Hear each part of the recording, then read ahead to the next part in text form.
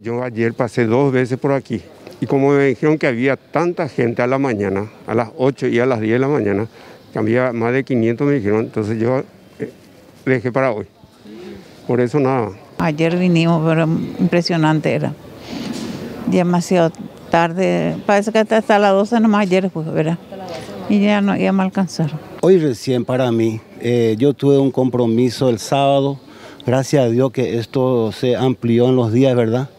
Era ineludible mi compromiso y para suerte mía, hoy lunes me toca a mí. Gracias a Dios. Gracias. Ahora hay mucha menos gente que el fin de semana. incluso. Mucha. Estaba viendo por la tele donde yo estaba y me daba cuenta que era impresionante la cantidad de gente. Con el objetivo de agilizar aún más la vacunación, evitar malos ratos y largas horas de espera, la Secretaría Nacional de Deportes habilitó un lugar exclusivo para quienes tengan alguna discapacidad física o intelectual. Desde el sábado que tenemos este lugar exclusivo para la, la, este, para gente que tenga algún tipo de discapacidad, ya sea física o intelectual, adulto mayor, para AstraZeneca. Inclusive pueden acercarse con su vehículo. Hay gente que no, no puede bajarse eh, con dificultad, le pusieron en el auto, tienen que aplicar su segunda dosis.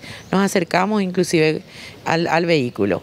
Acá viene gente con mucha dificultad, entonces rápidamente, más rápidamente se les atiende. La doctora Lizo Velar, jefa de programas de la 18 región sanitaria y encargada del vacunatorio de la SND, recomendó a los familiares de adultos mayores acudir directamente a la zona peatonal de este punto de inmunización y evitar la modalidad autovac, al menos si quieren salvarse de horas y horas de espera en kilométricas filas.